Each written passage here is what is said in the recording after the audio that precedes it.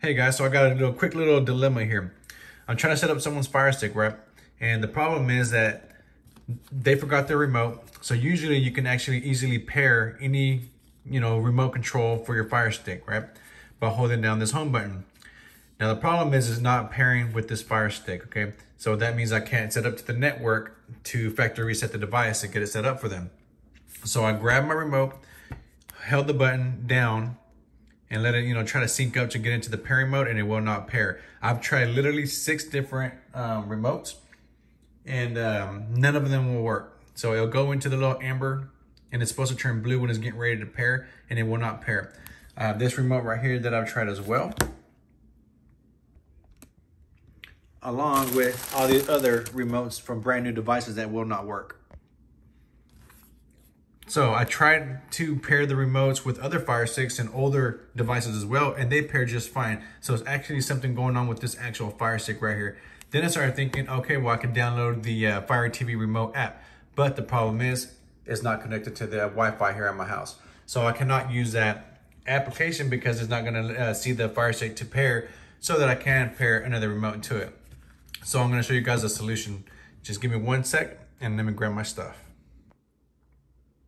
Now, if you guys seen my past videos before, I did make a video on this little um, keyboard that you can connect to your Fire Stick or your Cube. And I made a video on the H9 um, keyboard as well. I actually recommend this one over the other one because it has the little context menu button right here, which you need on the uh, Silk browser for your Amazon Fire Stick. But for this video, I'm actually gonna use my computer keyboard because it's a little bit fuller size and it has a built-in mouse. These have a built-in mouse as well, but we're gonna use this one right here.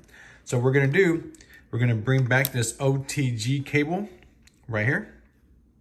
And as you can see, I already have my little USB connected to it. So I'm gonna hook this up and I'm gonna show you guys how to make your Fire Stick responsive using this keyboard so that we can go ahead and factory reset or connect to our network. All right, guys, so I grabbed all my wires. So just gonna show you guys what this is. This is gonna be the wall adapter that comes with your device. This cable is connected to the actual original uh, power cable to your Fire Stick, and it's gonna be connected to the end of the OTG cable, which is gonna be having the USB connector right here, your little transmitter to your mouse or your keyboard. A mouse might work for this as well, so you might wanna try that first. And then the other end is gonna be connected to the power right here, to your actual Fire Stick, okay?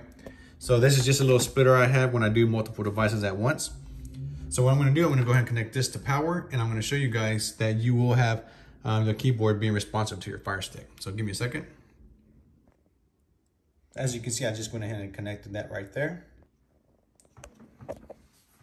And now the Fire Stick is booting up. So I'm recording this on the fly, you guys. There's not gonna be no kind of video editing or anything like that. I am uh, pausing the video as I go along just so it won't be taking longer, but we're gonna go ahead and just wait for this thing to load up and hopefully we'll be good to go because I do not have all day to sit there and try to pair these remotes when they don't wanna cooperate with me. So I'll just go ahead and just wait for this to, to finish up. All right, guys, so this is actually already booted up and we'll go ahead and start messing with the little mouse. You can kind of see it's actually already responsive. So I'm gonna go ahead and just connect to my Wi-Fi now. And I am using my little keyboard here. So this little OTG cable, it's about $3 on eBay. Uh, you might be able to find them on Amazon. They'll be a little bit more expensive, but if you got a Fire Stick or anything, I highly recommend you buy one of these just in case you either want to use an extended keyboard um, or external keyboard, I'm sorry, or one of these little guys right here. And like I said, I do prefer the H9 keyboard if you're gonna go that route. But if you want a bigger one, you know, go ahead and use that.